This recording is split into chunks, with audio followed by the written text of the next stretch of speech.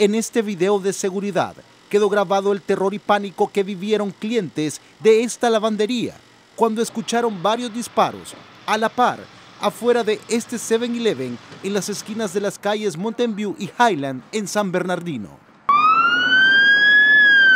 Y es que un ladrón armado terminó con cuatro disparos en su cuerpo y en condición crítica, cuando la policía abrió fuego contra él al no obedecer que soltara el arma. Ellos estaban lavando cuando empezaron a escuchar los, el, alboroto que había afuera. Empezaron a, se asomaron y ya se dieron cuenta que estaba la, policía ya queriendo atrapar al, al sospechoso.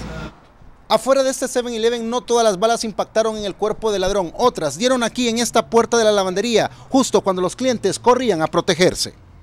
Padres con sus hijos en el suelo, personas que pudieron ser alcanzadas por las balas, ventanas destruidas, en un hecho que aún tiene con los nervios de punta a la señora Sofía. Yo vivo aquí al otro lado del 7-Eleven y sí, sí es mm, peligroso salir, ya no saben a qué horas van a pasar las cosas. La identidad del sospechoso aún no ha sido revelada en una ciudad que la violencia no da tregua a sus residentes ni a las autoridades. Pues por lo mismo de que está mejor estar uno en su casa y salir a lo más indispensable a la calle.